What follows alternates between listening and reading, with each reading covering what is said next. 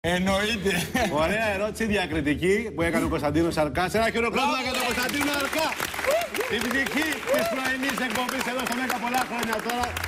Τον ξέρω πάρα πολύ καιρό και είμαι χαρούμενος που συνεργαζόμαστε φέτος. Λοιπόν, θα πάω στο φιλαράκι μου εδώ πέρα. Πώς σε λένε, Σταύρο. Γεια σου Σταύρο. Όλα καλά; Μια Με τι χαρά. ασχολείσαι; Φοιτητής. Φοιτητής. Ε, όλοι οι φοιτητές εδώ είναι σήμερα, έτσι; Κανείς δεν πάει να σπουδάσει. Λοιπόν, αγόρι μου, έχεις κατουρίσει ποτέ σε πισίνα; Εγώ Ε, για εσένα ρωτάω. έχω κατουρίσει σε πισίνα. και σε πήρανε χαμπάρι; Έφυγα μετά. Α, σε πήρανε. Δεν έγινε κόκκινο. Δεν είχαν ρίξει το υγρό αυτό το ειδικό που φαίνεται. Δεν ξέρω, ξέρεις. δεν ξέρω. Το έκανες με τρόπο και την έκανες με ελαφρά πηδηματάκια. Εσείς τι πιστεύετε, ο Αργύρης Αγγέλου έχει κατουρίσει σε πισίνα; Ναι, Όχι, όχι, όχι, όχι, Ναι, όχι, ο Αγγέλου. αλλά όχι. Όχι. Όχι, όχι, όχι, όχι. Ναι, αλλά όχι. Η Χριστίνα λέει ναι, αλλά δεν το λέει. Το ξέρεις δηλαδή; Ε, δεν υπάρχει άνθρωπος να μου το έχει κάνει αυτό. Σε Μία φορά. στη ζωή. Άλλο στη θάλασσα. Σε σε τι με πισίνα. κοιτάτε έτσι. Άλλο πισίνα.